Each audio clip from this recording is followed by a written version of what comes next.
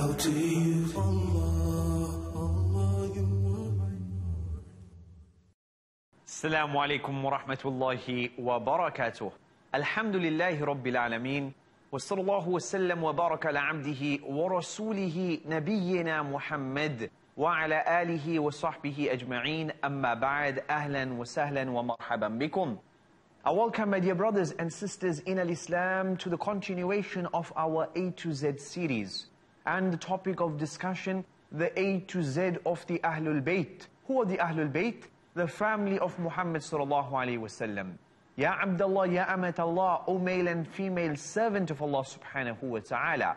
Our Nabi Muhammad sallallahu alaihi wasallam said, أذكركم الله في أهل بيتي. I remind you with regards to my family. So brothers and sisters, it is becoming upon us that we sit and we understand, we listen, we learn about the family of the Prophet sallallahu alaihi wasallam.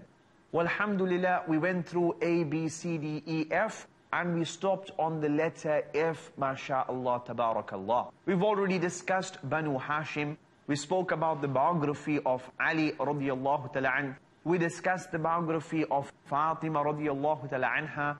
We went through the definition of the Ahl al-Bayt. We spoke about Medina al-Munawwara, spoke about the children of the Prophet sallallahu alaihi wasallam, and we also touched on the topic of the day of Ashura. We now move on bi'ithnillahi ta'ala and we state that F is also for Fadak. What is Fadak? Fadak was this piece of land that the Messenger wasallam had. And some group make this matter into a major matter. A molehill turned into a mountain. They state that after the Messenger wasallam passed away, Fatima radiallahu ta'ala anha comes to Abu Bakr and she says, Ya Abu Bakr, I want my share of inheritance. I am the daughter of Muhammad sallallahu alaihi wasallam and his only surviving offspring. I want my inheritance. Then Abu Bakr radiallahu ta'ala an, they state, denied her her inheritance and he oppressed her and he did not give her this land of Fadak. Ya Abdullah, Ya Amat Allah, understand fully, subhanallah. Number one, Abu Bakr was correct in what he did. Why? Because the Prophet ﷺ said that the Anbiya do not leave behind any inheritance. All the inheritance they leave behind is knowledge. Al-ulama warathatul anbiya. The ulama, they take the inheritance of the Anbiya, this knowledge, this ilm. That's the inheritance of the Anbiya. As for dinar and dirhams, the Anbiya are not here to amass wealth and then leave for their children. Another reason that the Prophet ﷺ did not leave it that it would be taken and as inheritance, because then people might accuse the Messenger ﷺ and they would say that this man came to amass wealth, he came to start off a dynasty, he came to amass wealth, become rich and send all of this money for his kids. Rather, it's a sign of his prophethood that there's no money, that there is no inheritance that the children would get. Number two, Abu Bakr radiallahu ta'ala anha, yes, turned Fatima's plea down. Why? Because of what her father said. And number two, very important, remember when Abu Bakr turned down Fatima radiallahu ta'ala anha's request, he also in turn turned down his own daughter's request. Aisha radiallahu ta'ala anha is his daughter, and she's a wife of the Prophet sallallahu alaihi wasallam. She stood to inherit. Hafsa, the daughter of Umar, she also stood to inherit. In fact, all the wives would have inherited and shared one-eighth of the estate. But none of them were given. Why? Because the Anbiya do not leave behind any inheritance. So in denying Fatima, he also denied his own daughter and Umar's daughter too, and the other wives of the Messenger sallallahu alaihi.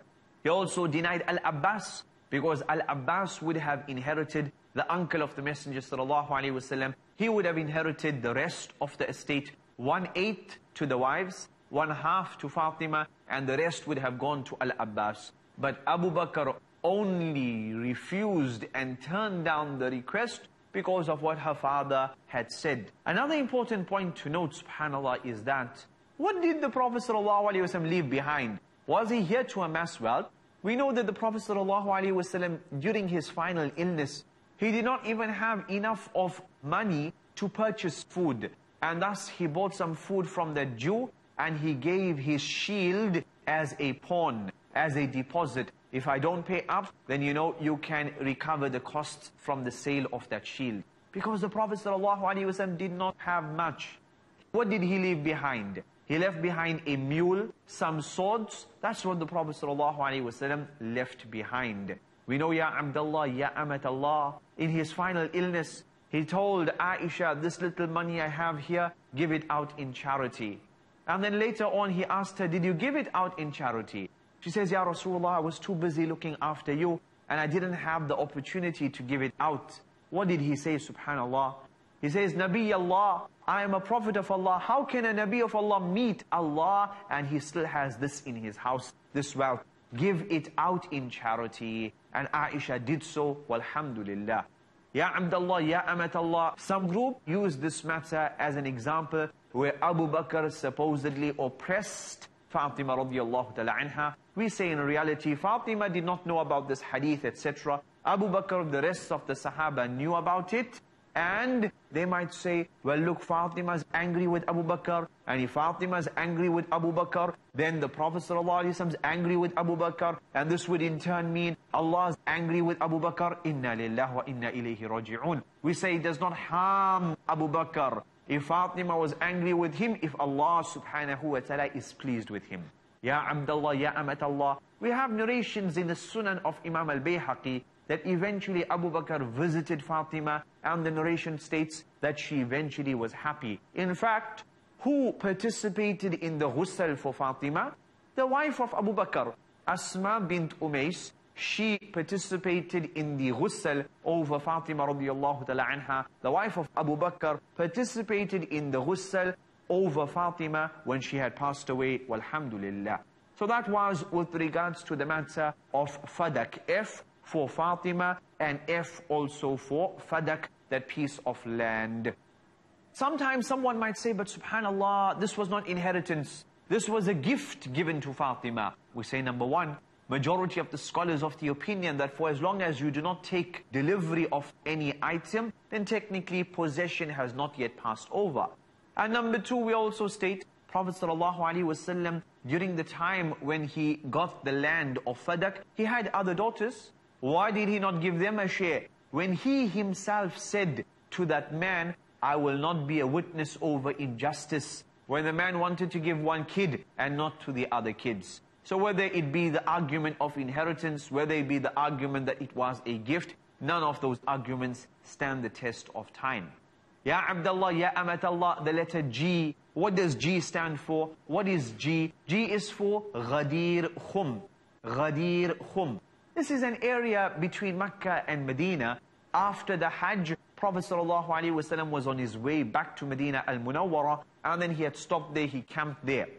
And it was here that the Prophet ﷺ said, أُذَكِّرُكُمُ اللَّهِ فِي أَهْلَ بَيْتِي I remind you with regards to my family. I remind you with regards to my family. I remind you with regards to my family. It was also here that the Prophet ﷺ, he had stated that, Man kuntu mawla fa'aliyun mawla. Whoever I am a protector over, Ali is also a protector over that person. People were making a noise, they had some issue with Ali, they had brought some animals from Yemen, he did not allow them to make use of them. So there were certain rumblings against Ali. Prophet ﷺ wanted to put all of that to rest. And just like how I am here as a protector, Ali is also a protector. Do not pick on him. Do not make a mockery of him. Do not say any like what you had said. Ya Abdullah, Ya Amat Allah. Some groups state that uh, here it was at Ghadir Khum. The Prophet ﷺ supposedly made it known that Ali is to be his successor after him. And the Sahaba kept this matter quiet. They kept it as a secret and they did not spread this information. Allahu musta'an. If that was the case, subhanAllah, number one, Ali would have mentioned it to the people that, you know what, didn't the Prophet ﷺ say this? But he did not say anything of the sort. Number two, wouldn't it have been appropriate for the Messenger ﷺ to make a super important announcement like this during the Hajj? Not after the Hajj when he's on his way back to Medina al-Munawwara and he only has like the people of Medina with him. Rather, this should have been mentioned at maybe Arafat when all the people were there from all the different areas. So, Ya Abdullah, Ya Amatallah, that argument does not stand the test of time. Wallahu ta'ala a'lam. You find that on the 18th of Dhul Hijjah every year, they have a celebration, they call it the Eid of Ghadir Khum. The Eid of Ghadir Khum. And unfortunately, many a times, within this gathering, you find the slander of Abu Bakr, and you find the cursing of Umar radiallahu ta'ala. Inna lillah wa inna ilayhi raji'un. To Allah we belong, and to Him we return, subhanallah. Ya Abdullah, Ya Amatallah, we discussed F, we discussed the letter G, we now move on to the letter H. And H is for what? H is for the house of the Prophet ﷺ. That house which was adjacent to the masjid. And we know later on, there was the house of Aisha radiallahu ta'ala anha also there. There was the house of Sauda radiallahu ta'ala anha. Fatima radiallahu ta'ala anha's house was also close by. Ya Abdullah, Ya Amatallah. The Messenger sallallahu alayhi wasallam, if he looked through the window, he was able to look into the masjid. Ya Abdullah, Ya Amatallah. One of the companions, he states later on, many years later, he entered one of the houses of the Prophet sallallahu alaihi wasallam. What do you think it was like? Was it like some sort of palace? Was it a palatial home? Absolutely not. He said that if I put my hands up, I would be able to touch the roof. It was so constricted. We know at times, Prophet ﷺ would be in salah, and Aisha radiallahu ta'ala anha is lying down. He would need to touch her so that she could pull her legs in, so the Prophet ﷺ is able to make sujood. Why? Because the house was very, very, very, very small. We know when Umar entered the house once, he looked around and he saw nothing worth mentioning. Nothing worth mentioning. He says, Ya Rasulullah, the Persians and the Romans do not worship Allah. And we worship Allah. Why don't you make dua to Allah that He gives us from the riches that He's given them? What did the Prophet ﷺ say? Oh Umar, are you not happy that for them is this world and for us is the hereafter? Prophet ﷺ's home was a very small home, but it was a home of barakah. It was a home of iman. It was a home of khair and walhamdulillah. The Messenger sallallahu alaihi wasallam, he passed away where? He passed away in the home of Aisha radiyallahu ta'ala anha and he was buried in that house of Aisha radiyallahu ta'ala anha walhamdulillah. Bi'idhnillahi ta'ala we take a short break. When we return, we continue with the letter H and the biography of Hassan radiyallahu an. Hayyakumullah. Assalamu alaikum wa rahmatullah.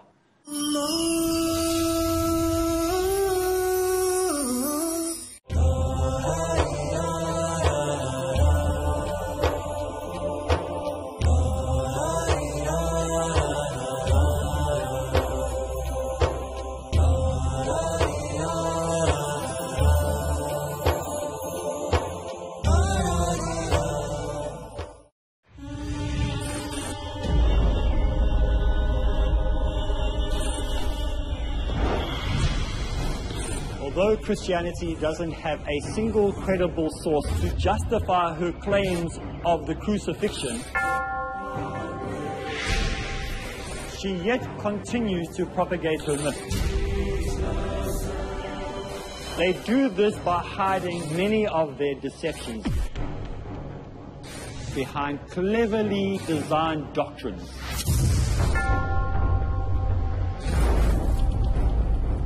Did you know that Christianity stands or falls at the cross? So how did they do this? How did they do this? Did they do this? Join me for the series called The Cross Question. Probe the past that proves Christianity in practice is fictitious in The Cross Questioned. Next on Peace TV.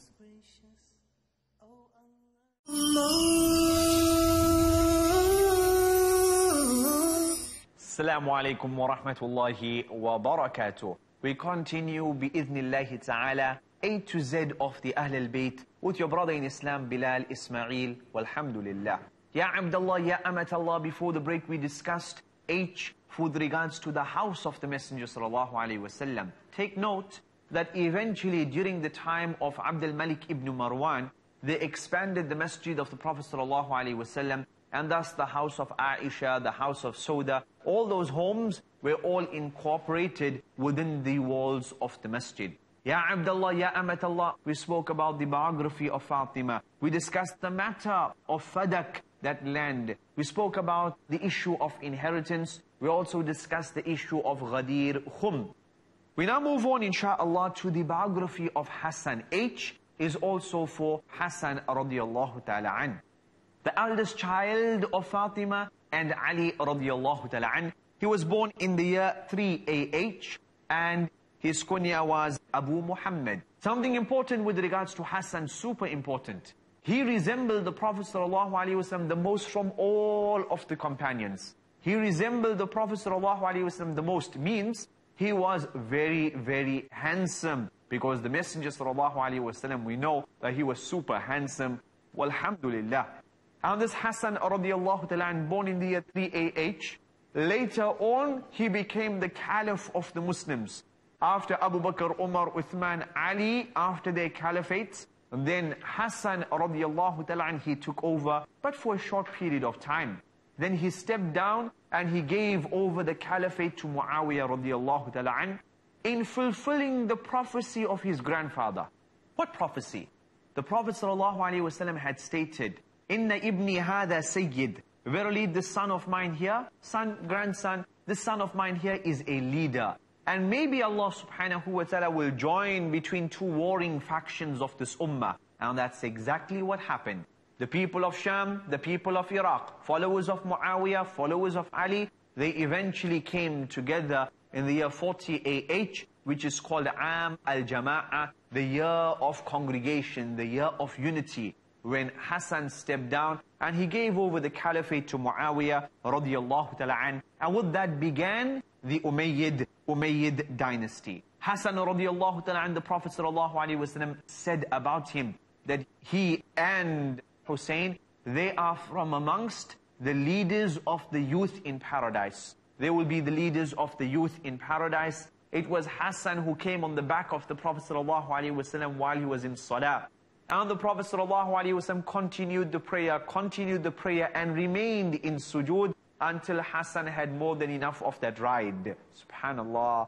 After Salah, the Prophet ﷺ said to the Sahaba, you know, you might have thought, why was that taking so long? It was because of him riding on my back and I did not want to cut his ride short. Subhanallah.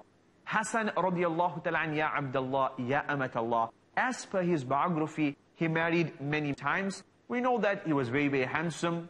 He was the caliph of the Muslims. And maybe if someone marries him and she gives birth, the kid is from the Ahl al-Bayt. What an honor that is. And so many would want to marry Hassan radiallahu ta'ala an. Two incidents in his life, Ya Abdullah, Ya Amatallah, which shows us the wisdom of this man. Hassan radiallahu ta'ala an, someone asked him. He said, Oh Hassan, you know, I see you giving charity left, right and center to people. You don't really know who's deserving, who's not deserving. You just give everyone. So what did he say? He said that I am a beggar before Allah subhanahu wa ta'ala. And I want Allah to answer me. So when the beggar comes to me asking for something, why should I not give to him? Why should I not give to him? I'm a beggar too. Subhanallah. Ya Abdullah, Ya Amat Allah. A Jew came to him and says to him, Ya Hassan, your grandfather said, Ad-dunya si'jnul mu'min wa jannatul kafir. This dunya, it is the jail of the believer and it is the paradise of the disbeliever. But look at me, Look at me, I'm going through tough times. I'm a Jew here within the state and I'm going through tough times. I don't have this, I don't have that. Compared to you, you are marrying many times. You are very, very rich. You have status. You have all of this wealth. But I don't have. So how did Hassan respond? Hassan radiallahu ta'ala said, in relation to what awaits me in the hereafter, right now I am in my jail. And in relation to what awaits you in your hereafter, you are right now in your paradise. Subhanallah. Ya Abdullah, Ya Amatallah, his father was super wise and his grandfather was super intelligent and thus Hassan radiallahu ta'ala the same super intelligent, walhamdulillah. Ya Abdullah, Ya Amatallah, Hassan passed away in Medina al-Munawwara. How did he die? Some of those who are pointed that maybe they had a hand in the poisoning of Hassan. Maybe some of his former followers when he made peace with Muawiyah radiallahu ta'ala they felt that how can he do this? That his father fought against Muawiyah and he wants to make peace? That's why some of them would call him Mudil al-Mu'mineen, disgrace of the believers. So he would say, better disgrace than going into the fire. Ya Abdullah, Ya Amatallah. This was Hassan radiallahu ta'ala an, the beloved of the Prophet sallallahu alaihi wasallam. Imam Mahdi who will appear towards the end of time, he will be from the progeny of Hassan radiallahu ta'ala an.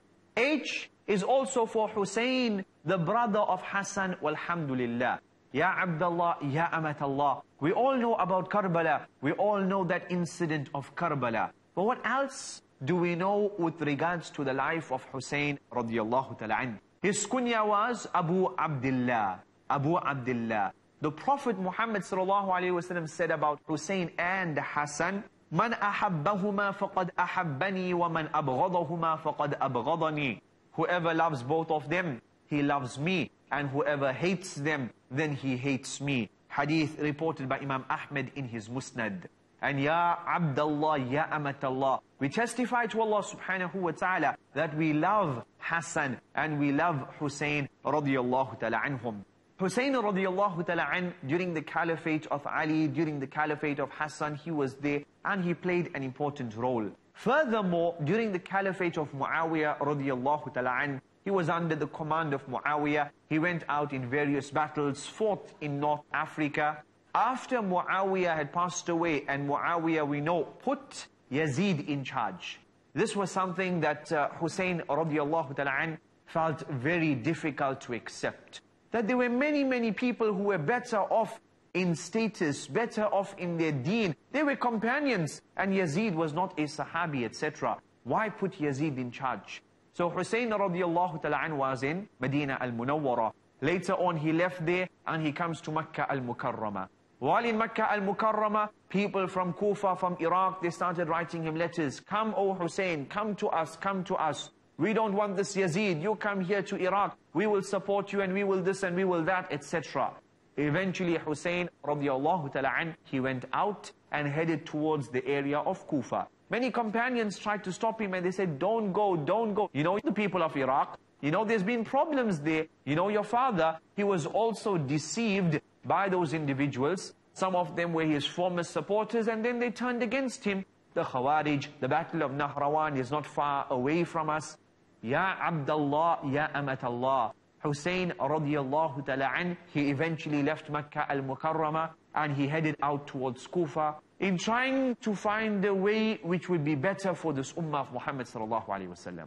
But qadr of Allah subhanahu wa ta'ala at Karbala, one of the governors of Yazid eventually met up Hussein radiallahu ta'ala. There were certain negotiations. At the end of it, Ya Abdullah, Ya Amatallah, Hussein radiallahu ta'ala an, with many family members of his people of the Ahl al-Bayt, they were all slaughtered at Karbala. Allahu musta'an. Inna lillah wa inna ilayhi raji'un. Something that we should remember, Ya Abdullah, Ya Amatallah, that this was a grandson of the Prophet wasallam, and what was perpetrated against him and his family and the people with him was a clear example of 100% oppression, zulm to the highest level, Allahu musta'an. But we also need to take care and not fall into another extreme as many do when it comes to Hussein. Hassan, okay, but Hussein, many go into extremes. Ya Abdullah, Ya Amatallah, it seems that we have come to the end of this episode. May Allah subhanahu wa ta'ala grant us khair and barakah in this world and in the hereafter. We discussed the biography of Hussein, biography of Hassan. We spoke about the house of the Messenger sallallahu alaihi wasallam. We discussed Ghadir Khum. We also went through the matter of Fadak and inheritance. Walhamdulillah. May Allah grant us khair in this world and in the hereafter. هذا وصلى الله وسلم وبارك على عبده ورسوله نبينا محمد وعلى آله وصحبه أجمعين السلام عليكم ورحمة الله وبركاته Allah, Allah, you are my Lord. I